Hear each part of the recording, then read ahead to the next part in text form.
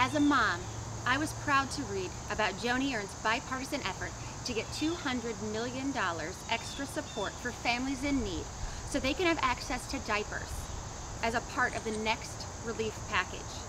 But it's not a surprise because Joni's a mom and she understands how critical it is to make sure our little ones have the resources they need to grow and flourish. And as she said, no baby should ever go without a clean diaper, and I couldn't agree more. This isn't a Republican or a Democrat issue. This is a common sense issue, and I'm grateful that Joni is working on it. But apparently, one out-of-touch liberal disagrees. Theresa Greenfield is against Joni's bipartisan plan to get diapers for families in need because of COVID-19.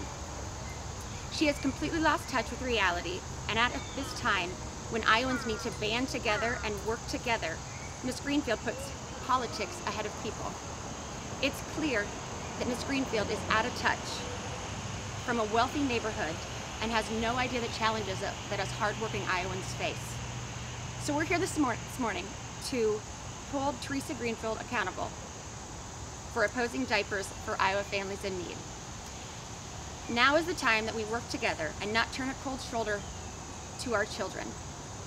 Joni Ernst is working hard for Iowans, and she has been all over the state listening. And how can Miss Greenfield turn a shoulder the other way? How can she look the how can Miss Greenfield look the other way? And now you can hear from a few other mothers. There's Jen.